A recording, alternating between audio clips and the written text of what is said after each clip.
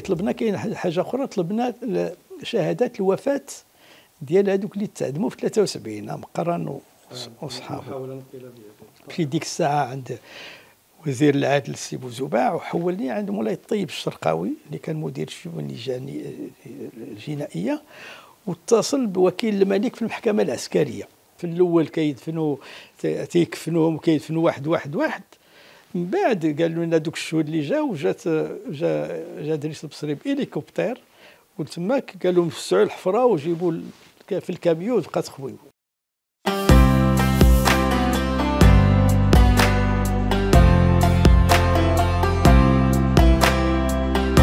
الناس تماك دوزوا 18 سنه في ديك في هذاك سميتو المعتقل ما عمرهم غسلوا ما عمرهم حسنوا ما عمرهم شافوا الشمس يعني يعني الموت البطيء أقرب أقرب دوار لهذه المنطقة هو كانت هي هي جات ما بين ما بين الريش وقرامه جات ما بين الريش في منطقه ماشي بعيدة عن الحدود الجزائرية تما. فقالوا لنا ما هذيك هذيك هذيك تزممرت هذيك القلعة هذيك السكنة غادي غادي خو غادي خويا الجيش وغادي يرازي غادي يحطم كل شيء. غادي يريب كل يوم فطلبنا منهم يخليو لنا ديك العمارات مادام ريبوا هذاك اللي كان معتقل هذيك العمارات الثلاثة اللي كانوا اللي كانوا قائمين لأن هذيك المنطقة تزممارس مانعين عليهم يشعلوا حتى الشمعه ممنوع تكون عندهم الأفراح لأنه جا حدا حدا المعتقل السري وبالتالي دوك القرية مسكنة. ديال تزممارس عاشوا واحد المحنة قاسية جدا في ديك ديك ديك الفترة. فطلبنا منهم يعني الجواب ديال الجيش الملكي أنه يعني ماشي غير يعني عند كل جيش في العالم. في العالم إلا كيمشي كيخرج من المنطقة كيهدم داك الشيء باش ما يجيش ما يخليش الاثار خاصة وحنا كنا شهود أنه كانوا كيخزنوا السلاح تماك. ديك الزياره اللي كنا درنا واحد الخطرة الأولى كانوا كيخزنوا السلاح أنه غادي يريبوا كل شيء. حنا طلبنا منهم دوك ثلاثة العمارات يبقى وحدة نديروا فيها مدرسة وحدة فيها التكوين المهني وحدة للنساء وديك ال... يعني بغيتوا تسلموا هذا تسلموا هذا المبنى من عند, من عند الجيش, الجيش وهذيك الساحة اللي مدفونين فيها غادي تكون مقبرة ديال القرية. نعم. وطالبين اللي نداير بها السور وداك الشيء وطلبنا لهم هذا الطلب قال لك أودي راه ما يمكن شيء. رفضوه لنا. نعم. وعندهم الحق. نعم. لهذا طلبنا التحكيم الملكي. هنا طلبنا التحكيم الملكي. وغادي نقول الاخرين اللي طلبنا فيهم حتى هما التحكيم الملكي هذه نحكيها. فداروا لنا موعد مع الجنرال بناني اللي كان قائد سميتو مشيت أنا والسي إدريس والسي عزيز بناني. ولقينا السي عبد العزيز جنرال يعني مع الجنرال les colonels إيه طلبنا كاين حاجة أخرى طلبنا شهادات الوفاة ديال هذوك اللي تعدموا في 73 أمقران وصحابه في ديك الساعة عند وزير العدل السي بوزوبع وحولني عند مولاي الطيب الشرقاوي اللي كان مدير الشؤون الجنائية واتصل بوكيل الملك في المحكمة العسكرية.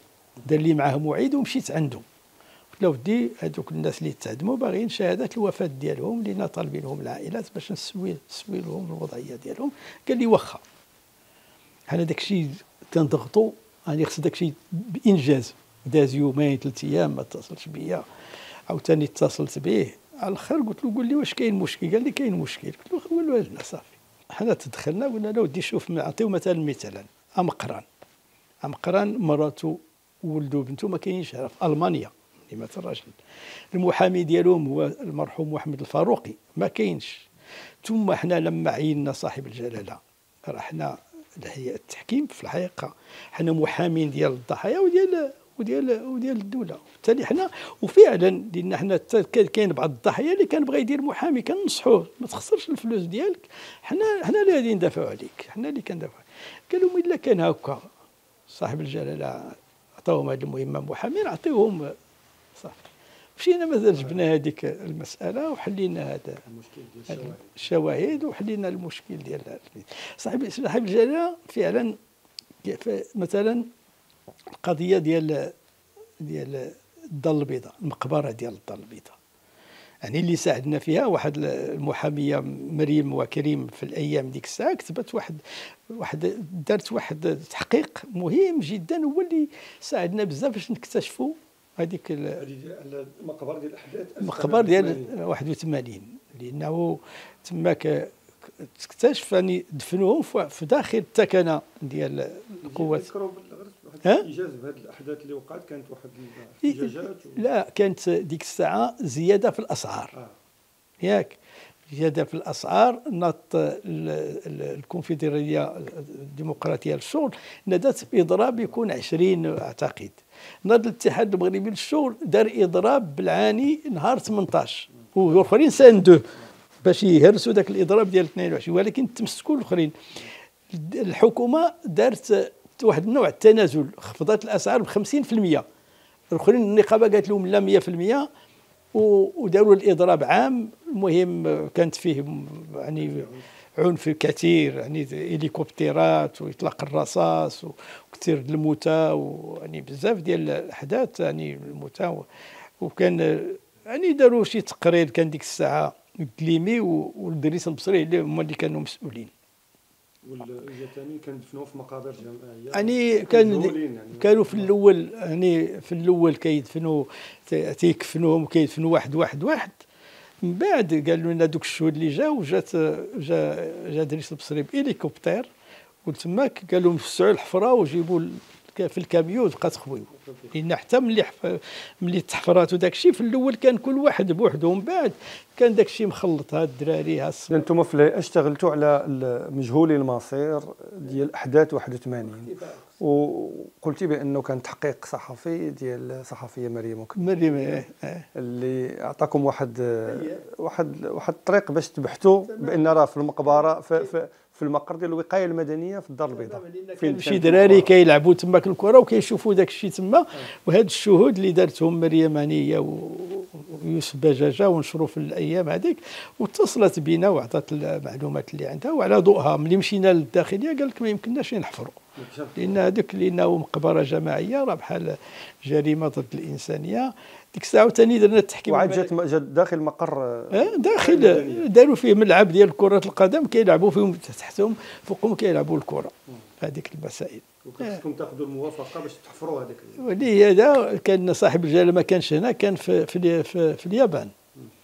فملي توقعت الاستشارة قال فو فونسي زعما استمروا في العمل ديالكم. اللي ذكرتوني هي وحتى كررها عاوتاني فاش تقدم تقدم له التقرير ديال هيئة الإنصاف والمصالحة.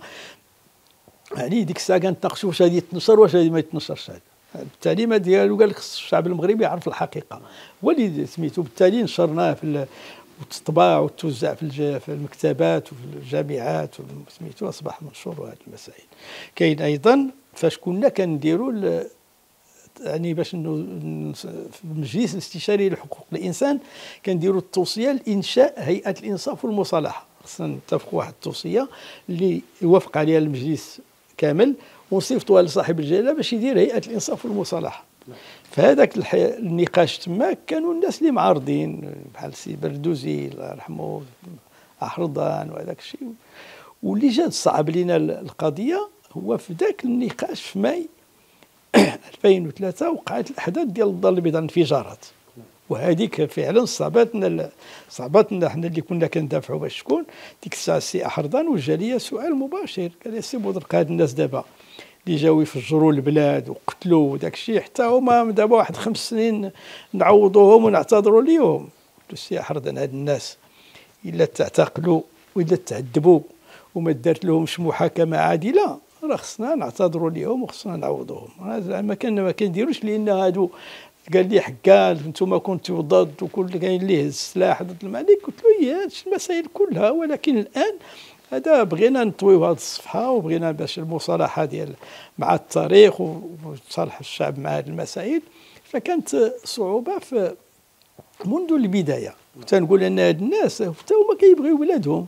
ولكن بهذه الطريقة وعندهم حيت تيدخل بحال الشخص بحال البردوزي اللي هو كان في الحبس. واللي كان يعني محسوب على اليسار. تيقول لك المقومات ديال سميتو لأن فعلا الحالة المغربية استثناء. جميع يعني يعني لجان الحقيقة في العالم كلها دارت إما على أنقاض سقوط نظام ديكتاتوري ولا أحداث دامية ولا انتفاضات يعني زوال النظام ومجيء نظام آخر. فهذا نفس النظام الاستمرارية ودارت ناخذ تونس. ولكن في إرادة سياسية. تونس هو سقط النظام وجا نظام ورغم ذلك ما نجحتش مشى ما نجحوش علاش لأن ما كانش إرادة سياسية عند القمة. هذا هو فهذا المسائل ديال ديال ديال لا اسمح لي. لا لينا في هذه القضية ديال صاحب الجلاله بالضبط حنا دابا كنا نسميوها هيئة الحقيقة والمصالحة. قال لك الحقيقة ما ديروهاش حنا كنا دارت واحد اللجنة فيها النص ضد والنص مع وبدينا كنتفاوضوا باش نوجدوا حل. نوجدوا باش خدينا هذيك التوصية. كان صاغها السي يعني شرف عليها السي يعني احمد بن نيوب الله يرحمه. يعني كانت لينا قرينا التجارب العالم كلها وخرجنا منها إنها تكون توصية رائعة. ولكن جاو السمية قال لك علاش الحقيقة؟ أنتم ما عندكمش الحقيقة. ف يعني مازال كنتذكر السي الريسوني الله يرحمه هو اللي جاب هذه القضية الإنصاف والمصالحة. والمصالحة. فدرناها ولكن ملي استقبلنا صاحب الجلالة في التنصيب فقادير قال أنتم هيئة الحقيقة والإنصاف والمصالحة. الظاهر اللي خرج في الجريدة الرسمية هيئة الحقيقة والإنصاف والمصالحة. يعني هذا تنقول